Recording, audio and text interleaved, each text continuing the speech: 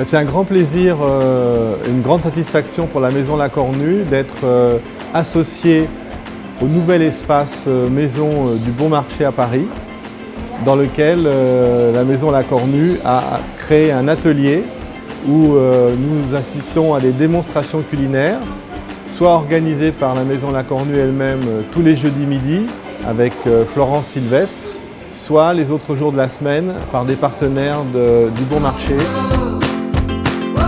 Je suis très contente d'exercer cette mission que Xavier Dupuis m'a confiée depuis début septembre. Je fais donc chaque jeudi des recettes différentes. J'essaye, dans la mesure du possible, d'utiliser vraiment les produits de saison. Donc le mois d'octobre sera plutôt tourné vers les champignons.